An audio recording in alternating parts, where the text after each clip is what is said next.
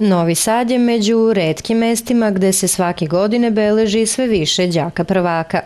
Prošle godine je u prvi razred osnovnih škola bilo upisano 3988 novih učenika. I ove godine se očekuje veliki broj prvaka i što je najvažnije, za sve njih ima mesta u školama – Na upis je potrebno poneti samo lekarsko uverenje od pedijatra. Ove godine postoji novina, Ministarstvo prosvete u saradnji sa Ministarstvom za državnu upravu i lokalnu samoupravu, kao i sa Ministarstvom unutrašnjih poslova, u skladu sa zakonom o elektronskoj upravi omogućilo roditeljima da neke dokumente mogu nabaviti tako što će to potražiti u škole. Škole su obaveze na svojim oglasnim tablama ili sajtu škole oglase da roditelji ukoliko žele mogu da ponesu zahtev da škola u njihovo ime e, pribavi e, potvrdu o prebivalištu i izvodi iz matične knjige rođenih. Kao i prošle godine, pravo na besplatne učbenike imaju tri kategorije učenika.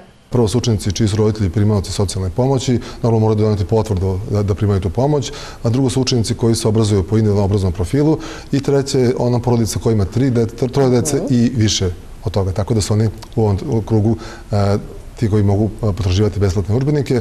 Popunjeni su svi formulari za ovogodišnje e, razrede, s tim da se radi za sledeće godine za prvi razredna procena na osnovu ovogodišnjeg upisa. U prvi razred ove godine upisuju se deca rođena od 1. marta 2012. do 28. februara 2013. godine. Ministarstvo prosvete procenjuje da u Srbiji ima između 68 i 70 hiljada mališana stasalih za školu. Naknadni rok za upis je od 20. avgusta.